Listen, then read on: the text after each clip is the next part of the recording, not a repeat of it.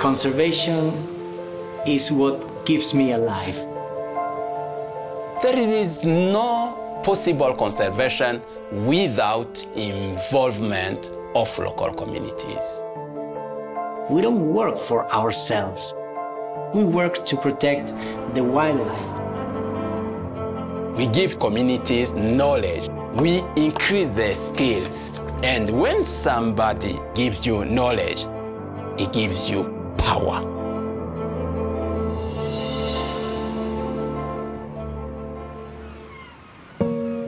When I was in Argentina, surrounded by half a million penguins, I really felt the connection. Penguins are excellent sentinels of the ocean.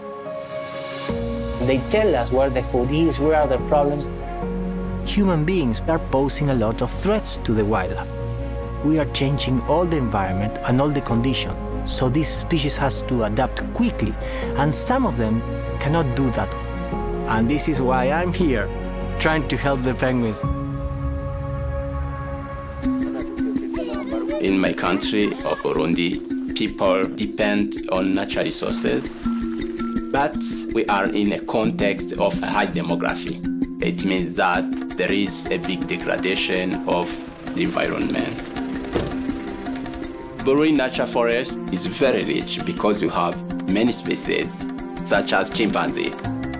When you protect their habitat, you bring security for these animals and empower communities. I am convinced that through biodiversity and ecotourism, we can create richness without destroying natural resources.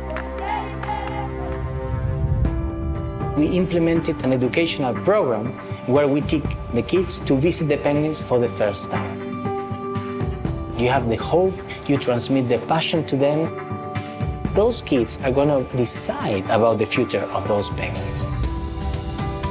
We really forget that nature is keeping us healthy. And the key is to be connected to nature. Every thread gives me commitment to continue because I'm convinced that what I'm doing is noble. And when you do a good job, you can't give up. My name is Leonidas Nzigiyimpa. One passion burns in my heart to protect biodiversity in favor of local community. I am Pablo Garcia Borboroglu. My hope for the future is that people learn to love and respect nature to inspire the change that we need to save this planet.